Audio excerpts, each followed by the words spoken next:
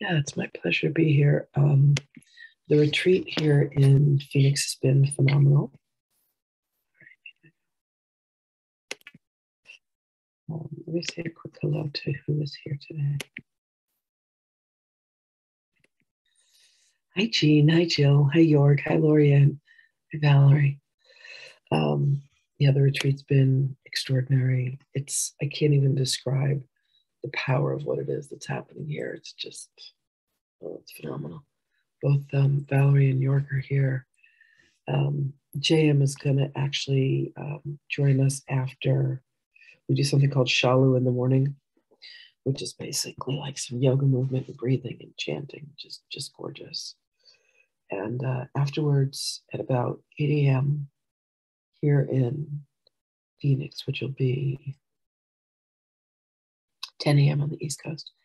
He's going to come on the morning platform and get a chance to say hi to everybody live. So that'll be a treat. Anyway, um, just a phenomenal experience of one of the things that uh, Yeshua talks about in the way of mastery is about um, allowing God's breath to breathe you.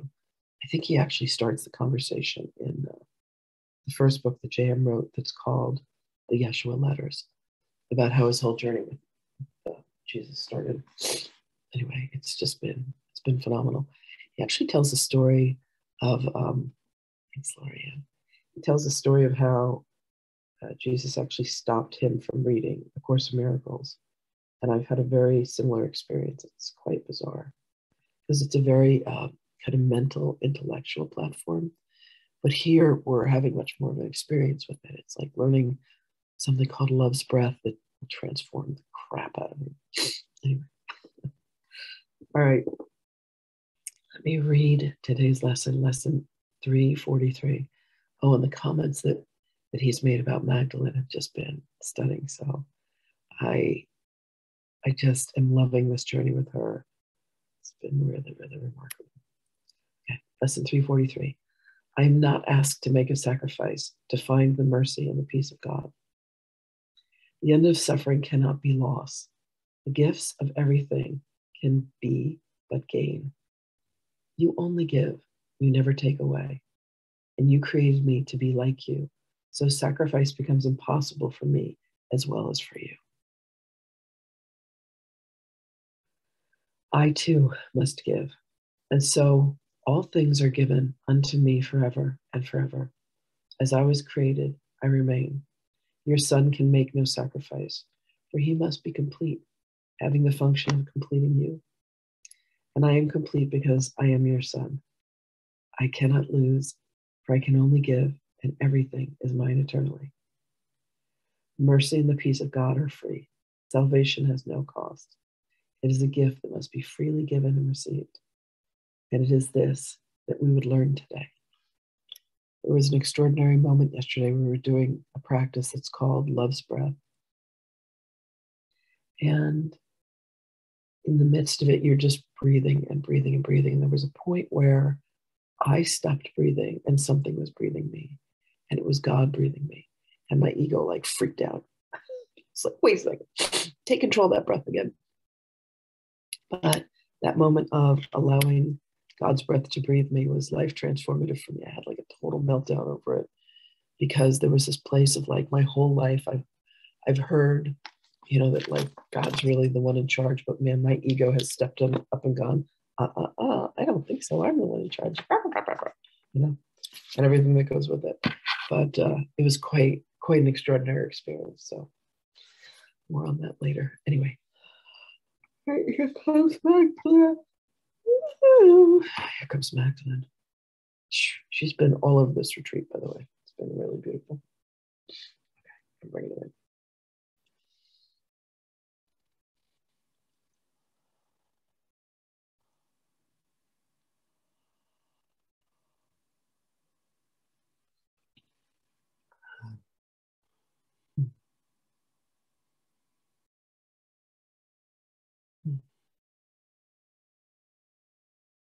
Mm.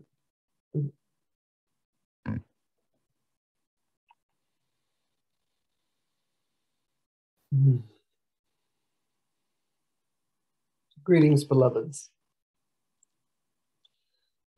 Beloveds, if you truly understood that there is nothing that you need do, there is nothing that you need be, there is nothing that you must say, there's nothing that you must have in order to be as you were created, which is with love, you would allow yourselves to begin to unravel all of the ways in which you have constructed an egoic existence that believes in the need for control, that believes in the need for retribution, that believes in the need for you to be some way other than the way that you are. There is no sacrifice that must be made, but yet you look upon this possibility and you think that I would have to give up my jewels. I would have to give up the things that I love, I would have to change the way that I eat. I would have to change where I lived. I would have to go live in an ashram and meditate every day, practice yoga. Beloveds, all you need do is allow yourself to surrender to the very breath that is breathed through you, the very love of God, the very joy that you are. You would need only be as you were created. For many, this looks to be a sacrifice. It looks like a means of having to give up all of the ways in which you have known your life to be. But, beloveds, if you could truly allow yourself to surrender to the grace that God has given you, to know that in each and every moment you are surrounded and you are fulfilled with so much love, so much joy, and so much pleasure you would stop trying to scramble to make things occur. You would stop trying to force things to happen. You would truly allow yourselves to surrender to all that is the truth of you. In effect, there is a place where you are holding off or staving off the very pleasure, the very divine pleasure that you have prayed for. And you are the ones that are manifesting this you think that it is a sacrifice for you to say, I have to give up the need to judge and be righteous. I have to surrender to the love that God is. Mm, beloveds, you are such precious beings, imbued and filled with so much love. When you truly allow yourself to experience that God has breathed you into existence and continues to do so when your very desire is to be all that God has made you when you have come to the realization and to the remembrance of the love that has crafted and shaped your very existence. You allow yourself to know that the eyes through which you see and the words that come from your lips are touched with love of the divine, you will forgive yourself for all of the ways in which you have separated yourself from the goodness and the holiness that you are, from the very divinity that you are. And you will allow yourself to be steeped in a love that is so mm. vast and so pure. This is coming for you, beloveds. This is coming for each and every one of you. And beloved, as you step in this direction, as you allow God's breath to breathe you, you will find that those around you begin to shift and change.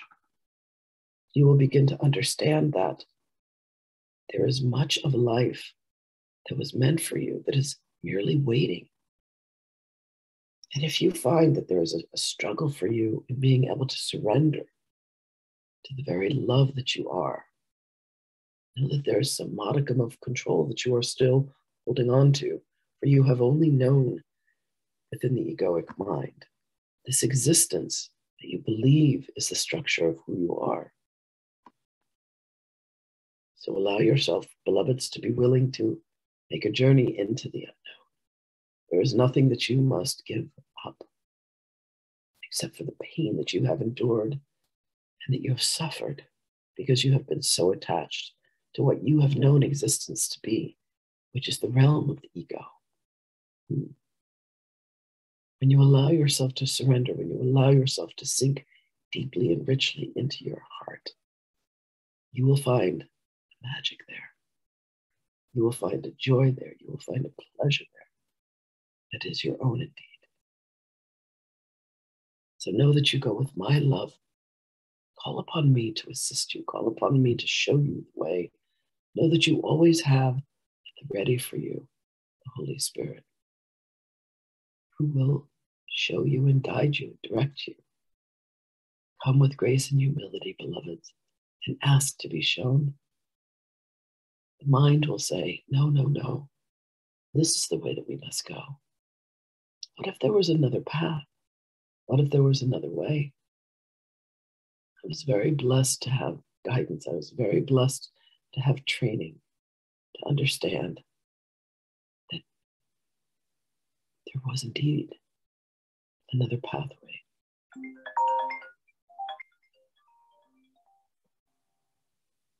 Blessings and love to you, beloved ones, for you are precious to me, precious to God.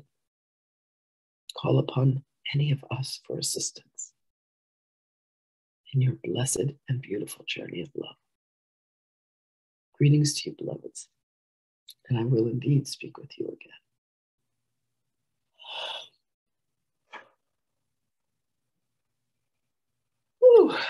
again. Hi, Marianne. Thanks for being here, everybody. I love you guys. Um, I'm heading over to my platform, and then I'm going to take my laptop with me, and uh, we're going to have the pleasure of having JM Hammer come and visit us. Thanks very well. Love you all. See you all again tomorrow.